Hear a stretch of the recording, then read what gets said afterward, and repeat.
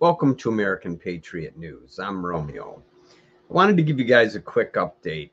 Um, this is something that Rush Limbaugh said, and obviously he's been gone for a couple of years, but let, let's take a listen to this and then Biden's response.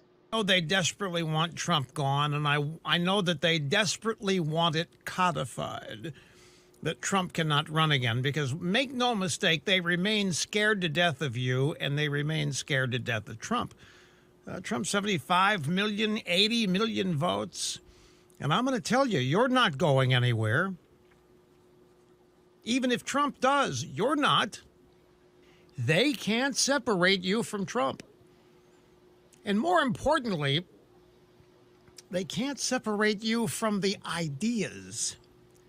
Right. They can't separate you from MAGA.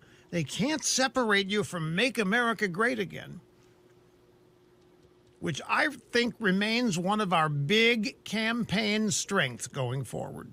They believe that they can they can destroy this bond that exists between you and Trump if they somehow make Trump look bad, make Trump look like a reprobate, embarrass you about Trump. They can't do it because you came before Trump.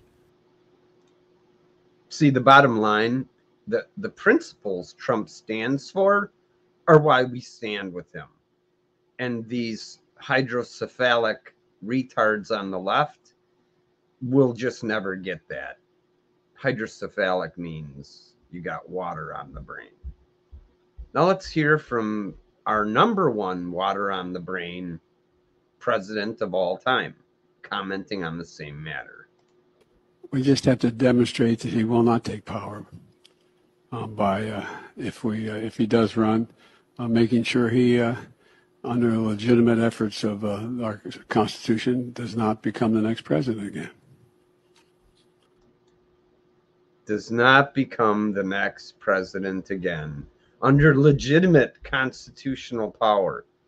Is there anything legitimate about Joe Biden or all the money from China and Ukraine? And man, these people are straight up bad people.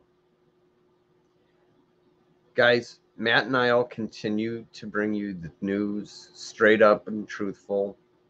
You guys have a wonderful rest of your evening.